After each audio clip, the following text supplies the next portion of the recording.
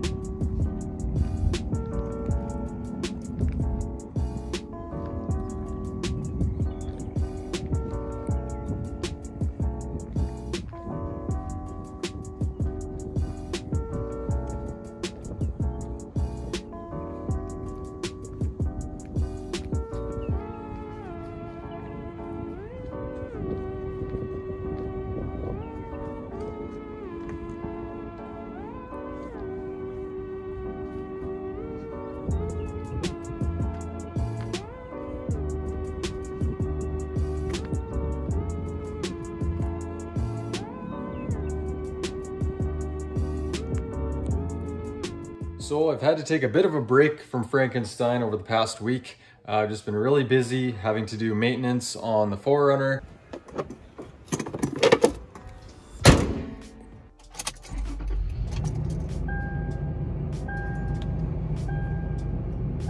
And the fit.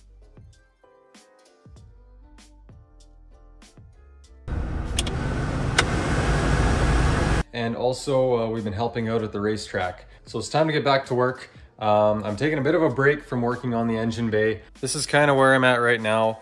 Um, basically exactly like you saw it last time, but uh, still working on getting the uh, seam sealer removed and I've almost got it done. I found some rust in there that I got to fix.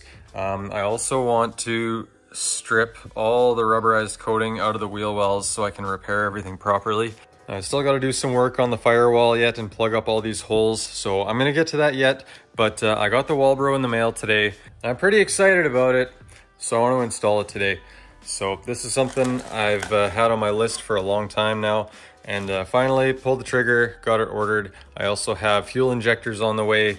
So we're slowly getting everything together. There's just a few more big things that I need for uh, this build and we'll be rolling. So um, yeah, taking a break from the engine bay, gonna get this installed today. To be honest with you guys, I've actually never installed a fuel pump before, so uh, this will be a bit of a learning experience for me, but I'm excited to get it done. So we're in the back of Frankenstein now. It is quite dirty, don't mind the mess. First step is going to be to remove this cover to gain access to the top of the fuel tank, and uh, then we can remove the fuel pump. So let's get started with that.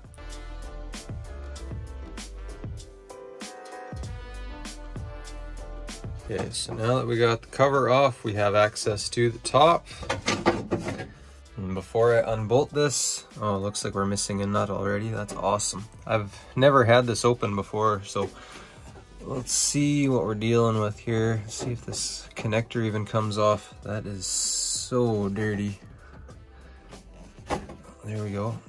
I will disconnect these fuel lines and then I will take all these nuts out and it should pull out. So I'll get to that next. All right, so I got the first line off. It was pretty simple. It's just a hose clamp and then you pull the hose off. It was kind of crusty, so it took a bit of doing, but uh, it came off of there. This next one is a little bit different. So from what I can see here, I think I need to use one of these fuel line removal tools. Basically this opens up and you slip it over the hard line in this direction and then this slips underneath the clip here. I don't know what the technical term is, but uh, basically it slips underneath and it'll push the line off. So uh, I've hardly ever had to use these in my life. I think I used them on uh, a Jeep Cherokee fuel rail or something like that. I, I don't remember, it was a long time ago, but uh, I had these sitting in the toolbox, so I finally get to use them. So give it a shot, see if it works. All right, so I don't know how well this is gonna show up on here, but basically you wanna slip this tool underneath the clip there, and what it does is it pushes on this tab from the inside, and then that allows it to slip up and over. So now if I pull on it, you can see it's wiggling loose now. And it comes right off. Normally when you're doing this, you would want to relieve fuel pressure before doing anything. I didn't have to do that because I've already drained all the fuel out of this thing. The engine is out, all the fuel pressure is gone. But anyway, we're to the step now where uh, I can remove these nuts. Hopefully they're not rusted too bad. They look pretty crusty. So uh, fingers crossed we can get this off of here.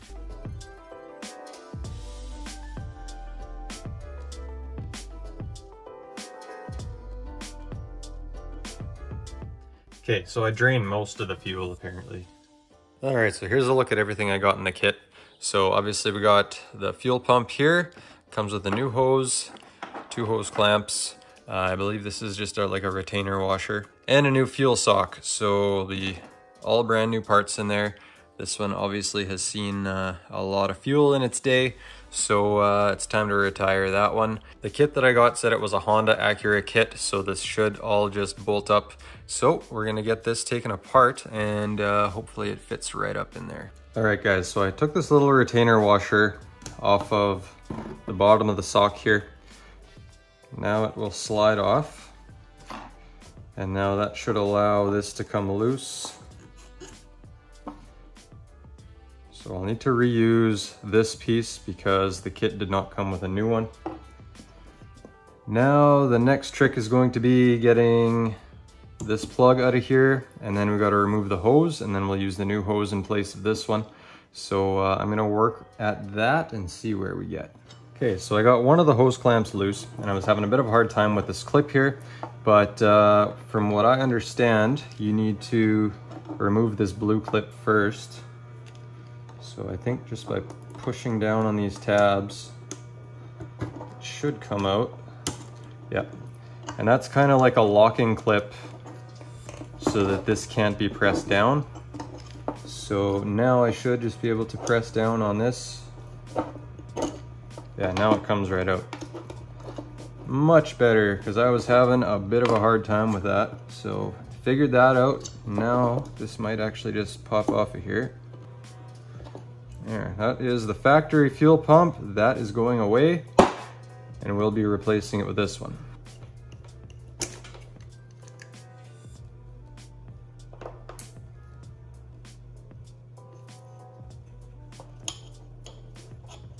Alright guys, so this piece of hose is obviously a bit too long. It's probably just a universal piece of hose. So when I just kind of hold the fuel pump up to it, I'm gonna need to trim the hose till about this point here so that it goes all the way down the full length of the nozzle. So we'll probably just trim it off here and then it should slip on there. We'll tighten up the hose clamps and that is that part of it done. All right, so I got the pump on there, got the hose clamps in place. This one I haven't tightened yet uh, because I may need to raise it or lower it depending on where it lines up down here.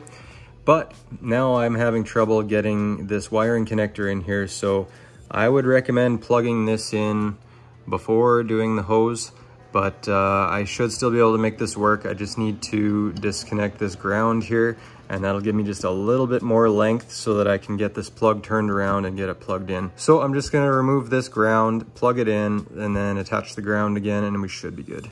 Well, let's just say, guys, I made a mistake by taking the ground screw out because in removing it, it actually stripped the threads, so there was no getting it tight again. So I ended up replacing it with another screw with a nut on the back of it. Hopefully that holds. Uh, it's pretty tight. Um, I guess if I have uh, issues with this thing not working, it could potentially be the ground, but hopefully that works for me. So now I need to add this rubber retainer to it. Then the sock goes in place and then this retainer washer uh, will hold the sock on. So we're getting pretty close to the end here. Once everything's in place, I will tighten up this one last hose clamp and then uh, that's it.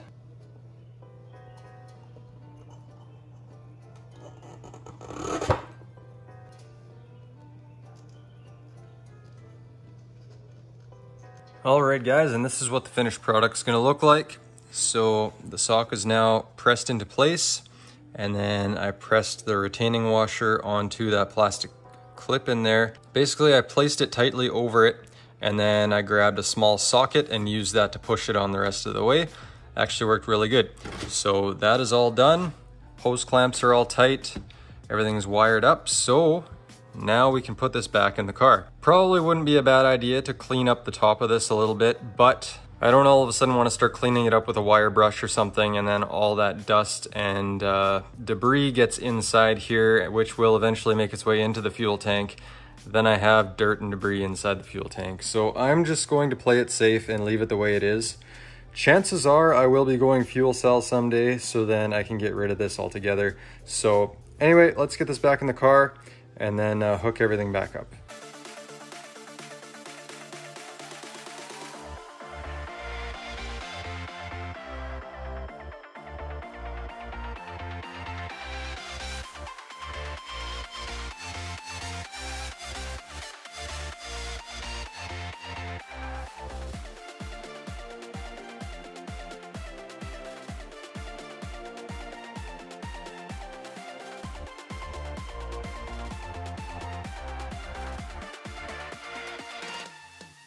All right, guys, well, fuel pump is in, and uh, that was actually pretty easy. I was done in about an hour, and uh, considering it was my first time, I don't think I did too bad a job. Everything went back together nicely, so uh, no problems there.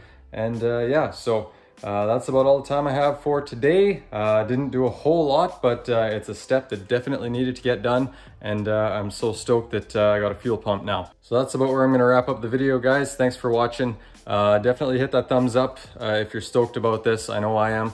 we're making pretty big steps here and I got a few more things I gotta order for the build and then we'll be ready to put everything back together. So drop me a comment below, guys. Let me know what you think, if I did anything wrong or if you have any suggestions. I'd love to hear from you guys. Uh, definitely subscribe if you haven't already, and we'll see you next time.